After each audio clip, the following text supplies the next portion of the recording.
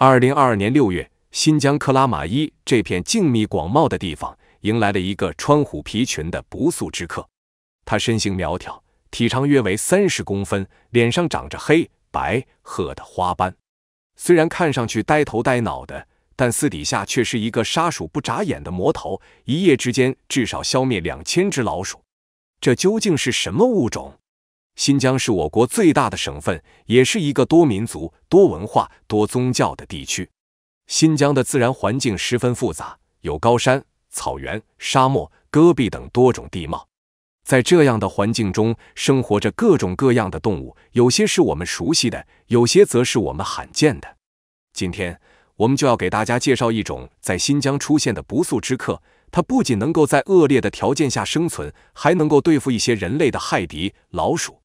它就是平头哥的小弟虎鼬，虎鼬又叫花地狗、马爱虎，属于鼬科家族，是平头哥蜜獾的近亲。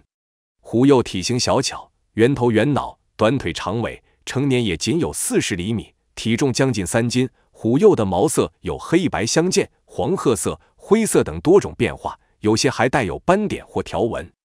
虎鼬原本分布在欧洲、亚洲和非洲的部分地区，是一种广泛适应不同环境的动物。它们可以在森林、草原、沙漠、湿地等多种生境中生活。虎鼬也是一种善于迁徙的动物，它们会随着食物和气候的变化而改变活动范围。据报道，近年来，由于全球气候变暖或人类活动的影响，一些原本生活在温带或寒带地区的动物开始向高纬度或高海拔地区扩散。虎鼬是食肉动物，据说虎鼬一天内能够消灭大量的老鼠，因此被誉为捕鼠先锋。目前，虎鼬主要栖息在海拔一千至一千三百米的沙丘之中，具备强大的生存能力和出色的繁殖能力。虽然其一年最多能产下八只幼崽，但由于种群规模依旧很小，虎鼬仍然是稀有物种之一。很多人都知道蜜獾的事迹。他们外号平头哥，性格冲动易怒，秉持着不服就打的理念，连狮子都不怕。而作为蜜獾的表亲，虎鼬也是一个人狠话不多的角色。虎鼬的战斗力表现在多个方面。首先，虎鼬表现出极其惊人的气场，一旦遇到敌人，他会蓄势待发，将全身毛发炸开，通过瞬间放大的形态来恐吓对手。虎鼬的攻击方式也十分残忍。直接撕咬敌人脑袋，然后用双爪抓住猎物前肢，将其迅速吞食。尤其是它们的犬齿，一口就能咬碎猎物的脑袋。单凭这一项技能，就足以让它们名震江湖了。此外，虎鼬爪子也很锐利，指甲又长又硬，不仅可以撕开猎物的皮肤，还十分擅长挖掘。就算在荒漠中，也能挖出一个巨大的深坑，堪称神器。此外，虎鼬身手敏捷，可以快速的接近猎物进行突袭式的攻击。它们还具备高度发达的感知能力，嗅觉灵敏，听觉出色，可以追踪并捕捉猎物。作为鼬科动物，虎鼬身体灵活，反应迅速，四肢修长，腿部肌肉发达，十分擅长短距离冲刺。一旦发现老鼠，就会以迅雷不及掩耳之势扑上去。最关键的是，虎鼬还擅长偷袭。它们的脚底十分厚实，移动的时候悄无声息，完全可以在猎物没反应过来前直接咬中其要害，行动能力极为惊人。不仅如此，虎鼬还是一种少见的拓行类动物，因此耐力极其出色，可以连续不停地疾行数公里。这种耐力，即便在鼬科动物中也是佼佼者。虎鼬和臭鼬、灵鼬一样，肛门两侧有两个臭腺，装满了淡黄色的分泌物。其主要成分是二甲硫醚和丁硫醇，味道奇臭无比，堪称生化武器。所以，虎鼬在面对强敌时，会把屁股对准敌人的脸，然后把分泌物倾泻出去。如果敌人中招，轻则呕吐窒息，重则直接晕厥，后果十分严重。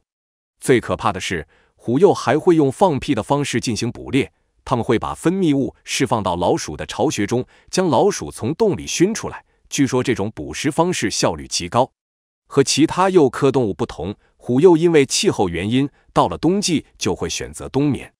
但为了抵抗寒冬，虎鼬在冬眠前必须大量进食，食物主要包括沙鼠、褐家鼠等各种鼠类。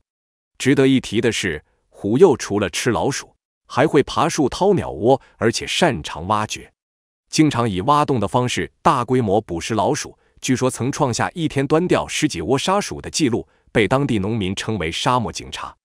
另外，虎鼬还是一个伪装大师，它们的皮肤和荒漠天然契合，隐身能力极强，普通动物根本无法分辨。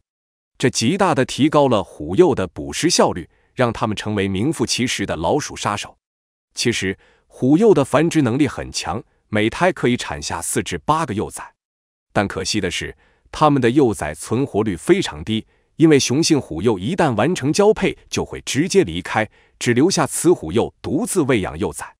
最关键的是，雌性虎鼬养育孩子的能力并不强，而且幼崽出生两个月后就会被赶走，让它们在野外独自生活，导致小虎鼬纷纷夭折，所以虎鼬的数量才会如此稀少。此外，人类的活动也导致虎鼬越来越少。虽然它们生活在荒漠，但这些荒漠非常靠近人类的聚居地，因此经常遭到破坏，所以种群数量一直无法提升。虎鼬生活的地区气候都比较寒冷，在我国主要分布于西北以及中西部地区。这些地方气候干冷，农作物也不像南方那么容易栽种，尤其是在农耕技术还不发达的古代。然而，这些拥有着大片平坦土地的地方，又是许多啮齿类的快乐老家。以各种老鼠、土拨鼠为代表，这些小动物在地面下挖出四通八达的洞穴，以植物根茎为食，靠温暖的地穴躲避严寒，生儿育女，却让荒漠草原上许多植物遭了大难。在人类大面积种植农作物之后，遭受鼠患的就变成了农民朋友们。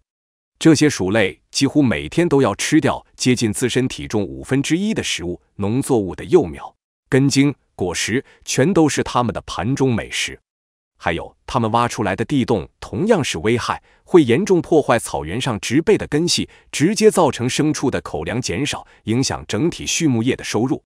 大自然是公平的，讲究万物相生相克，每种动物都有自己命中注定的克星。比如猫和老鼠，蛇和蛇鹫，虎鼬也不例外。它们最大的克星就是天空中的老鹰。老鹰是一种极其凶猛的飞禽，也是天空之王，更是所有中小型哺乳动物的天敌。无论狐狸、虎鼬，甚至连土狼，都是在它们的食谱上凶残无比。此外，生活在荒漠中的荒漠狼也是虎鼬的天敌，它们体型是虎鼬的好几倍。而且牙尖嘴利，速度飞快，还是群居动物，生活区域也和虎鼬发生重叠，因此两者经常发生冲突。当然，胜利的基本都是荒漠狼。虎鼬作为平头哥蜜獾的近亲，不仅拥有强大的战斗力，还具备稀有性。其勇猛的气质、高效的捕食能力以及对生态平衡的贡献，使其在动物王国中扮演着重要角色。然而，人类的活动和虎鼬繁殖特性的制约，使其数量稀少。虎鼬的罕见之处在于其独特的外貌和强大的战斗能力，使其成为动物界的一颗璀璨明珠。然而，虎鼬的生存状况却引起了人们的关切，因为全球气候的变化和栖息地的减少，加上人类大量的使用老鼠药，导致在短短的十年间，全世界虎鼬的数量少了近三成。其中最严重的是欧洲部分地区，其种群数量呈现大幅下降。在二零零八年，世界自然保护联盟不得不将其列入濒危物种红色名录，成为易危动物。面对物种稀少的困境，人类应当采取行动，保护这一宝贵的生物资源。为了保护虎鼬，我们需要从多个方面入手。首先，应当加强对虎鼬栖息地的保护。荒漠环境是虎鼬生存的基石，因此需要制定严格的保护政策，限制人类活动对其栖息地的侵蚀，确保其生存环境的稳定和完整。其次，应当开展科学研究，深入了解虎鼬的生态习性、繁殖规律等，为其保护和繁育提供科学依据。同时，社会也应当对虎鼬的保护做出贡献。我们也要加强宣传和教育，增强公众对虎鼬的了解和认识。只有这样，我们才能更好地保护这个宝贵的物种，共同维护生态平衡。虎鼬在新疆是一种外来物种，对当地的生态系统和人类生活有着复杂的影响。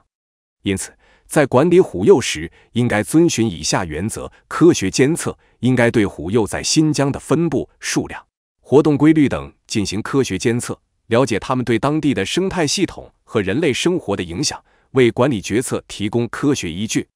有效利用，应该充分利用虎幼的优势，如捕食老鼠等害虫，保护农作物和人类健康。严格保护，应该尊重虎幼的生命权利。避免对它们进行不必要的伤害或虐待，同时也应该保护虎幼的原产地和原生态环境，维护全球的生物多样性和自然平衡。综上所述，在管理虎幼时，应该遵循科学监测、合理控制、有效利用、严格保护等原则，实现人与自然和谐共处。